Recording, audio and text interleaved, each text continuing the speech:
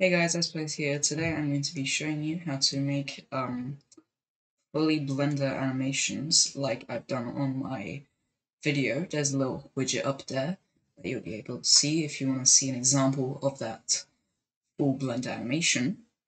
Um, now, first of all, if you're wondering how I've got my character in here, there's going to be in the comments a video on how to insert a character into Blender and make a GFX, but you just want to you just want to only follow the part of inserting the character, getting their hats in, and all of that.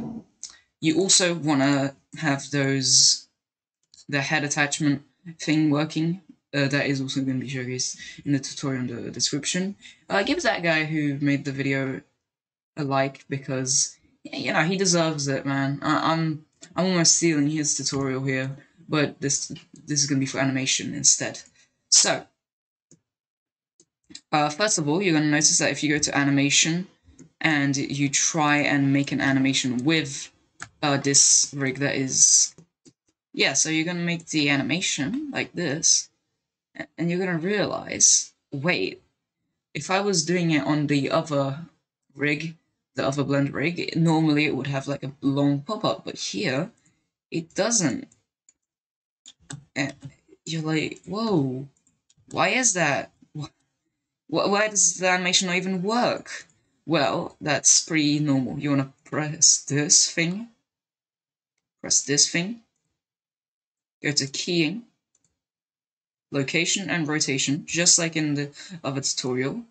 And now it's actually going to work a little bit better because you can see the keyframes. Now, our next problem here is, well, um, there's a keyframes for the arm, but you can see that when I click off of the arm, it's not there anymore. That's to be annoying, but I have luckily found a fix. And now, and you want to go on this little mouse thing right here. Yep. Boom. Click on that, and now it's actually going to work.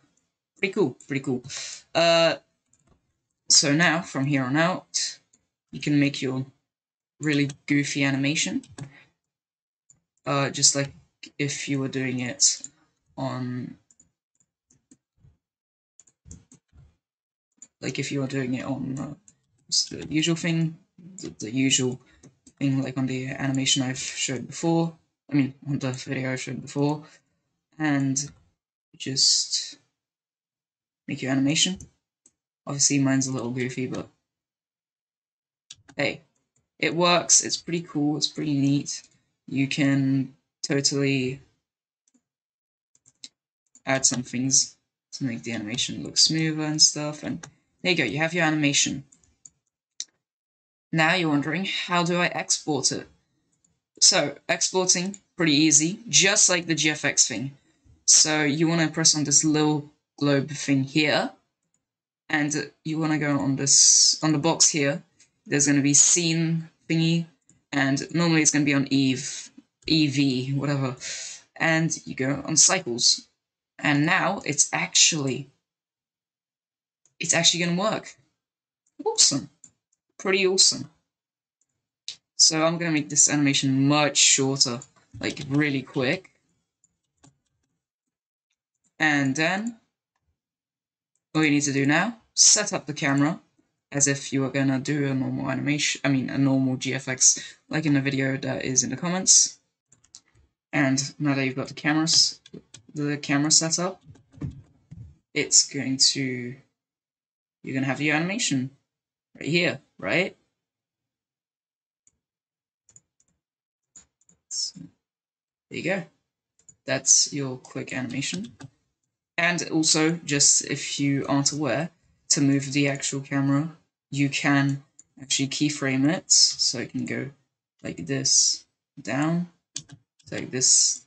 So go something like this.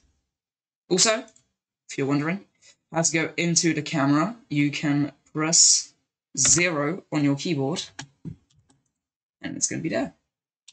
So that's how your final animation is going to look. Well, obviously for me, which is not the best animation, but hey, it's still something, and something is proud. You should be proud of something, you know? I, I don't know where this is going. But hey, you got your animation up. It looks pretty decent. And now that you've got your animation, you can go to render, render animation, and now it's going to render every frame. Uh, obviously, here I'm not on cycles, so if you want a really high quality uh, render animation, you want to press this.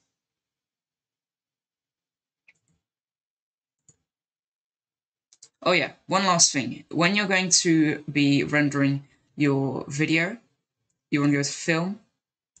Uh, if you want it to be transparent, you can go to film transparent. So that the background is going to be transparent. So for example, I don't know, green screen, whatever that crap is that you want. I don't know. You have it. And then the next thing you can do is like you can go over to Oh yeah, you go over to this little printer thing, and that little output thing, file format, you want to change to whatever you want. There's a lot of things here. You can, well, usually I would use, I think I use AVI JPEG, which is like a video. And then you can choose where you want this to be. Uh, yep. Go to render, render animation, and it's going to slowly and painfully render every frame of your animation. I'm too lazy to actually um, do this because you can see 1%, it's really slow. But if you have a very strong computer, unlike me, uh, you'll be able to probably get uh, a render uh, animation on Blender pretty quickly. So yeah. As you can see, it says frame 2, and it's going to basically do every frame one by one. So yeah, that's a quick tutorial on how to, okay, maybe not quick, but there, there you go. That's a tutorial on how to make blend animations. Oh yeah, and that, that happens. Right, thanks for watching guys, and have a nice day.